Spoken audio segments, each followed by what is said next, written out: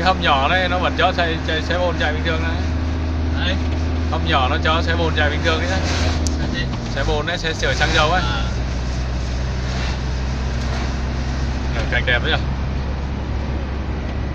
mình quay về mình bỏ lên youtube xem rồi số lượng người xem nhiều không là mình kiếm tiền.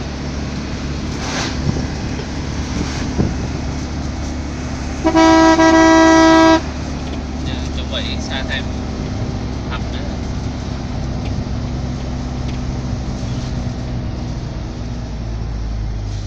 Ôi, cái gì đấy có